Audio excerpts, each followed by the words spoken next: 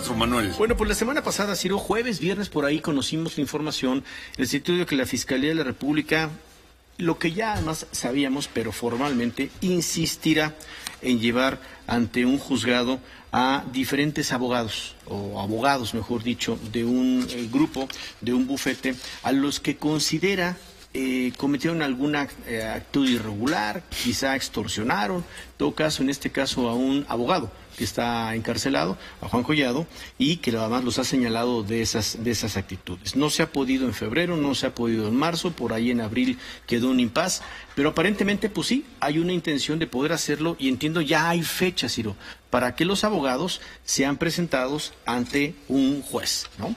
El caso específicamente de David Gómez Arnau, que es uno de los pues, asesores financieros, en este caso no abogado, incluido en esta ruta, es defendido por... Tres abogados. Sí. Y el asesor, financiero, es defendido por Agustín Acosta. En la línea telefónica el abogado Acosta. Abogado, buen día. Buen día, Agustín. Manuel, Ciro, ¿cómo están? Muy buenos días. Qué gusto saludarlos. Ya hay fecha para esta audiencia. Es correcto. Pues como les habíamos dicho, como habíamos comentado en la última eh, entrevista, eh, ustedes recordarán que había habido una audiencia, los abogados no se presentaron, pero David Gómez Arnau sí se presentó y el Ministerio Público decidió desistir de la solicitud de audiencia que estaba programada el, mes pasado. Comentamos que esto mm, dejaba en un estado de incertidumbre a todos los eh, involucrados, pues parece ser que, no parece ser, esto ya es un hecho, hemos sido notificados, hay una notificación, el 18 de mayo eh, habrá esta audiencia, nosotros ya nos presentamos en una ocasión. Y, y, quiero dejarlo dicho, la idea es que nos presentemos todos. Y así yo creo que así será. Es decir, no nos va a presentar la policía, no nos va a presentar eh, por una orden judicial. Hay una convocatoria para presentar, para que se presenten los imputados con sus abogados. Nosotros tenemos claramente el compromiso de asistir y hacer frente a unas a unas a unas eh, a una imputación que eh, de verdad consideramos muy débil y que creo que la mejor manera es hacerle frente en los tribunales con un discurso racional y legal y poder poder seguir adelante. 18 de mayo y ustedes sí se presentarán, tú con el señor Gómez Arnau, y la idea es que los otros tres acusados también se presenten. Pues mira, yo no hablo por ellos, pero sí, yo, sí, creo, sí, que, yo creo que yo creo que yo creo que eso es eso es lo que habría de suceder. Ahora, Agustín, simplemente eh, conocer si se sostienen las acusaciones que habíamos visto, estas de corrupción y de que delincuencia organizada, lavado de dinero, ¿se sostienen en esta acusación nueva o en este citatorio? Pues yo, yo eh, sí, ah, es decir, sí son las mismas acusaciones, eh, incluso han hecho ciertas investigaciones, han seguido investigando había una discusión sobre si podían aportar elementos, elementos que han eh, descubierto. La verdad es que por más que descubran documentos y cuestiones así, yo la verdad no veo no veo que puedan que puedan sostener. Lo que sí creo es que no creo que puedan sostener el sentido de, las acusaciones, ¿no? Todavía no conocemos el detalle, el detalle específico el detalle concreto jurídico de cómo están, cómo vienen esas acusaciones, lo, lo conoceremos el, el mismo día de la audiencia. Pero bueno, eh, sigue siendo la misma, sigue siendo la misma, la misma causa. Hay una cosa que también me parece que, eh, que es criticable y que puede ser motivo de impugnación. ellos habían presentado una acusación que originalmente iba a estar en el Centro de Justicia Federal del Reclusorio norte ahora va a ser el reclusorio sur. Y, y, es un poco como estoy buscando, estoy buscando jurisdicción que mejor me acomode, ¿no? Porque estas cosas son por turno. Entonces, eh, es, eso vamos a, a, analizar si, si, no, si este, solo punto no es motivo de impugnación para que las cosas regresen al reclusorio no, no estoy del todo seguro que, que, lo hagamos valer, pero es un punto adicional. ¿Una especie de juez a modo, Agustín?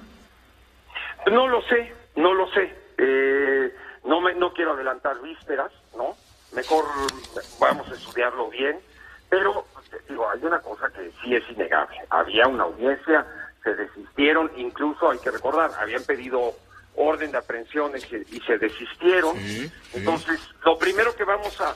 Se desistieron. Entonces, lo primero que vamos a pedir es que nos, de nuevo, nos descubran las carpetas tal y como las tienen al día de hoy para saber en, en qué es lo que supuestamente habrían avanzado y, y a partir de ahí tomar decisiones. Y también va a ser muy importante escuchar la imputación tal y como la quiere presentar el agente del Ministerio Público. Ahí, abierto el debate, podríamos, pues sí, eh, cuestionar esto de andar, de andar, de andar como saliendo de compras por, por, un, por una jurisdicción. Bueno. 18 de marzo, 18 de mayo, perdón. 11 de la mañana. 11 de la mañana, reclusorio sur, juzgado del reclusorio sur. Y ahí van a estar por lo pronto ustedes, ahí va a estar, ahí va a estar tú con el señor Gómez Arnao. Así es, así es. Pues gracias por la información, por la confirmación. Gracias, Agustín. Al contrario, mucho gusto, muy buenos días y estaremos en contacto. Gracias, Agustín, buen día. Buen pues día.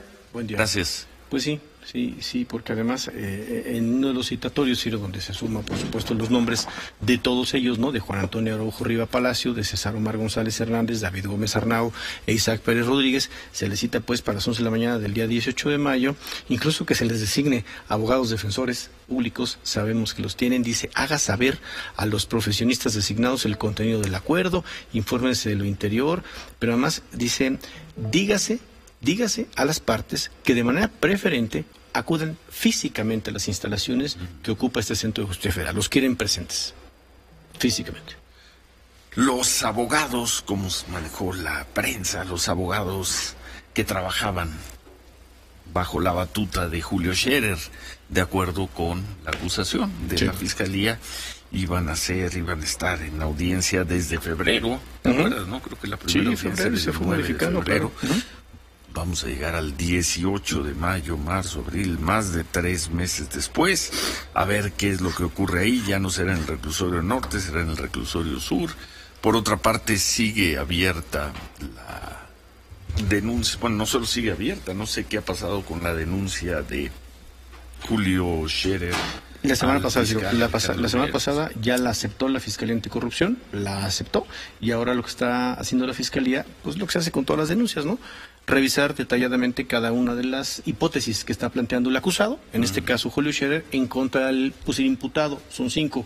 El más importante sin duda el fiscal de la República, para ver si hay un sustento y entonces se abre no solo la carpeta de investigación, sino comienzan las imputaciones. Y luego, por otra parte, no sé si en estos días se supo algo de si se judicializó ya las denuncias que hizo la Fiscalía General de la República, al menos las que expresó aquí el miércoles, el, fiscal Germán Castillo por aquella grabación ilegal que le hicieron al fiscal Alejandro Gertz con el fiscal especializado, el señor Juan Ramos.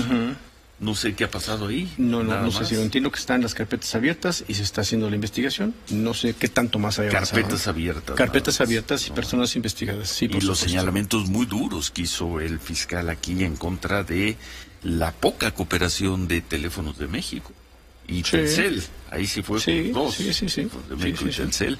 Y la supuesta responsabilidad que habrían tenido en la difusión de esa grabación, entre otros, un periodista. Sí, correcto. Mario Maldonado. Mario que Maldonado, lo escuchamos aquí entre otros. el viernes. Sí, sí, correcto. Sí, correcto. Pero no, hasta donde entendemos, son las carpetas abiertas, ¿no?